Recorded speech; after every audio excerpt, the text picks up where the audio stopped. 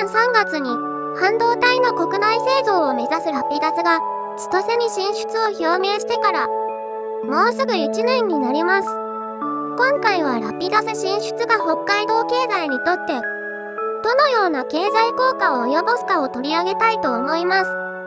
そもそもラピダスとはニーやトヨタといった日本を代表する有名企業8社がおととし出資して設立された半導体の国内製造を目指す会社になります。ラピダスは2025年度に試作ラインの稼働を開始して2027年度に製造を開始する予定です。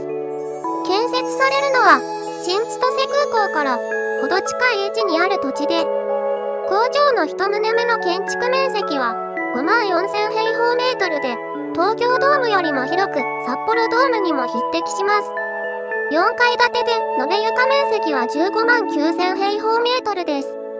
敷地もとても広大で大規模で、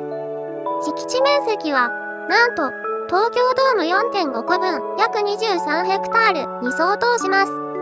これは第2工場や第3工場の将来的な建設を踏まえて敷地を確保していると思います。北海道新産業創造機構は、ラピダス進出による経済効果が2036年度までの14年間で最大で18兆8000億円とされています。第1工場単体での予想と第2工場が30年度に量産開始するとの予想の2つの想定で行った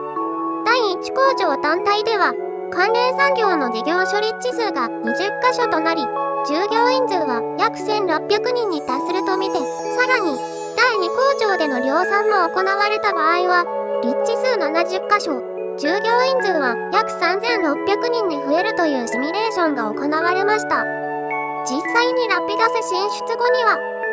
開発拠点の進出表明も相次いでいます。オランダの半導体開発企業の ASLM や、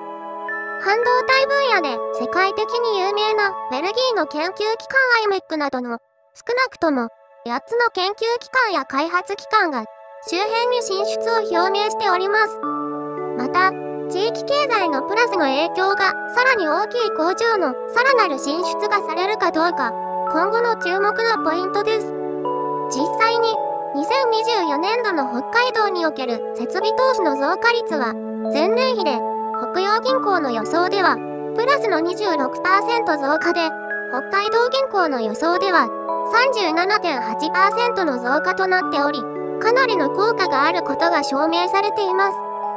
周辺では、住宅やオフィスの需要も増加しており、不動産業などの製造業以外の業種への効果もあると見られています。さらに、ラピダスの会長は、日本海側の石狩から札幌を通って、太平洋側の苫小牧までに、半導体やデータセンターなどのデジタル産業を集積させる構想を打ち出しており、実際に、去年秋には、苫小牧に、ソフトバンクが、国内最大級のデータセンターの建設を決定するなど早速ですが、動きもあります。今後の動向に期待したいと思います。動画が参考になった方は、ぜひともチャンネル登録と高評価お願いします。